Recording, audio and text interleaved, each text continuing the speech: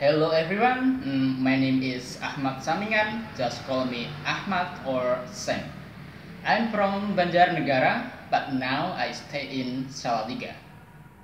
I am an English lecturer and I teach English at IAIN Salatiga. And I love teaching English so much. Thank you.